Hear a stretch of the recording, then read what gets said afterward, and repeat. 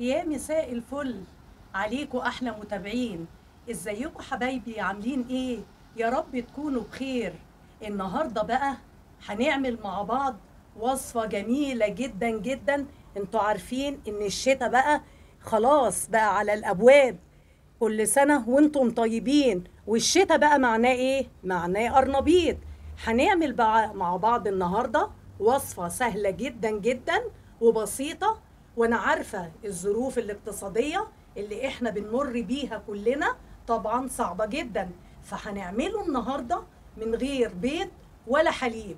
وشايفين ما شاء الله إيه ده؟ كنتاكي ده ولا إيه؟ تبارك الله. فعايزة بقى لو هتشوفوا الفيديو ده ما تنسونيش من أجمل لايك منكم. أنا الشيف ماجي وأتمنى إن أنتوا تدخلوا في قناتي يا حبايبي. علشان انزل لكم كل جديد. ويلا بينا بقى نعمل الوصفة الجميلة ديت مع بعض. أول حاجة لازم نعرفها في تنقية القرنبيط أو الزهرة على حسب البلاد العربية ما بتقول.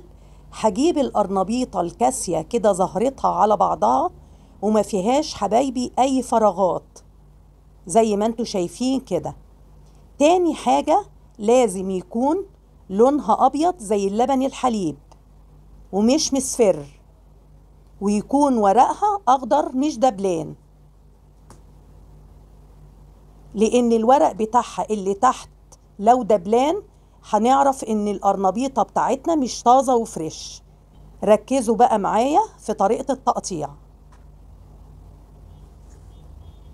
بنقلب القرنبيطة وبنشيل الجزء اللي تحت.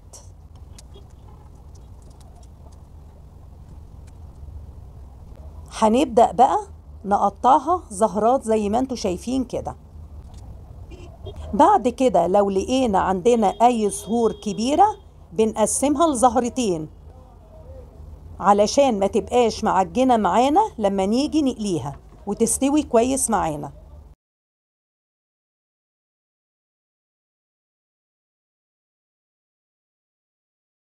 وده القرنبيط بعد ما قطعناه لازم حبايبي نغسله كويس جدا جدا. ليه؟ علشان بيكون فيه تراب كتير من السوق. وده القرنبيط بعد ما غسلته وبقى زي الفل حطيته بقى في مصفى يصفي كل ميته.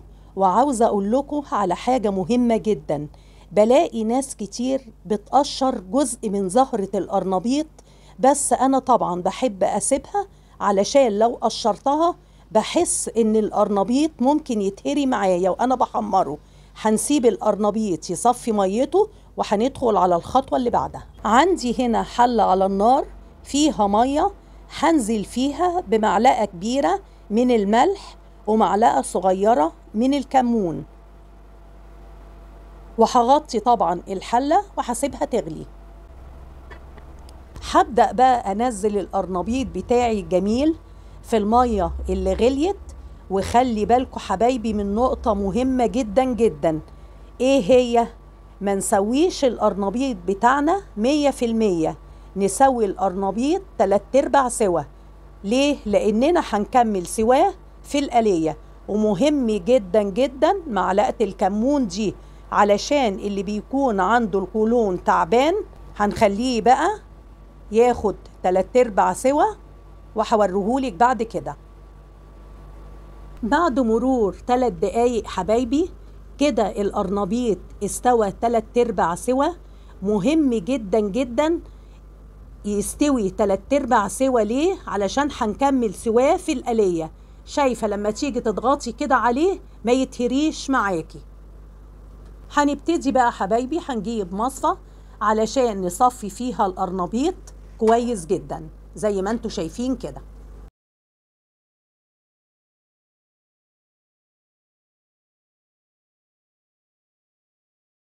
هننزل بقى الكمية المتبقية عندي من القرنبيط زي ما أنتوا شايفين.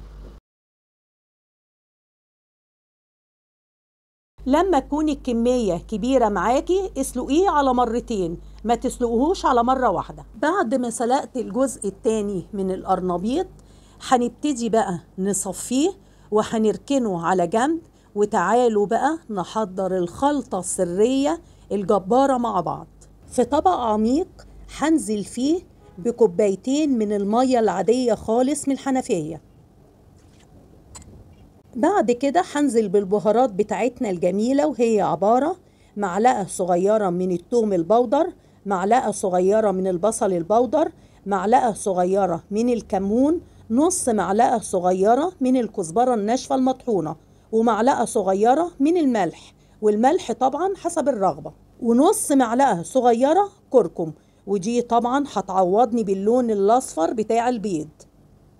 هنديهم تقليبة كده سريعة. بعد كده هننزل عليهم بكوباية من الدقيق زي ما أنتوا شايفين. ونص كوباية من النشا. ومعلقتين كبار من صلصة الطماطم.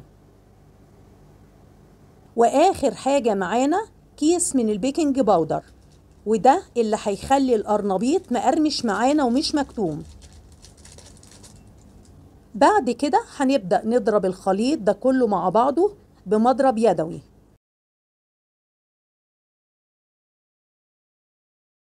وهو ده حبايبي القوام المطلوب مننا. يبقى أخف شوية من قوام الكيك. هنركنه بقى على جنب وهنحضر ال cover الخارجي بتاعنا. هنجيب طبق كبير هنحط فيه نص كوباية من الدقيق. هننزل عليه بمعلقة كبيرة نشا ونص معلقة كبيرة baking powder. هنقلب الخليط ده كويس جدا مع بعض. بجيب بقى حبايبي قطعة من القرنبيط. زي ما أنتوا شايفين كده هنزلها في الخلطة السرية الجميلة اللي عملتها معاكم. بعد كده أطلعها وهنزلها بقى على طول في الكفر الخارجي اللي إحنا عملناه مع بعض. زي ما أنتوا شايفين كده ما شاء الله. هكرر بقى حبايبي نفس الموضوع مع كل الكمية القرنبيط اللي عندي. وده القرنبيط كله بعد ما عملناه بالخلطة السرية الجميلة وحطيناه في الكفر الخارجي تعالوا بقى نسويه مع بعض. في طاسة بقى حبايبي على النار فيها زيت مش غزير وتكون حرارته أهم حاجة متوسطة. هنبدأ بقى ننزل بقطع القرنبيط أو الزهرة بتاعتنا الجميلة. ونخلي بعد كده النار فوق المتوسط. ليه؟ علشان ما يشربش أي زيوت معانا.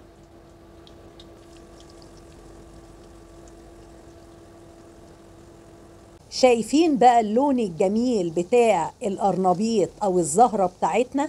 بجد تحفة. هخلص بقى حبايبي كل الكمية بتاعتي بالشكل اللي أنتوا شايفينه ده وهرجع لكم مرة تانية. ما شاء الله تبارك الله. شايفين ريحته تحفة بصراحة. وده القرنبيط بعد ما خلصته وحمرته. بجد هيعجبكم جدا جدا. واستحالة إن حد هيدوقه ويعرف إن معمول من غير بيض أو حليب. مقرمش جدا جدا وما فيهوش أي نقطة زيت. شايفين القطعة عاملة إزاي؟ كنتاكي ده ولا قرنبيط جربوا حبايبي الطريقة الاقتصادية ديت. وهتعجبكم جدا جدا. بتمنى لو عجبكم الفيديو ده تعملوا لي لايك وتنوروني بالاشتراك في القناة وتفعيل الجرس علشان يوصلكوا كل جديد في قناتي. وفي حفظ الرحمن يا أغلى متابعين.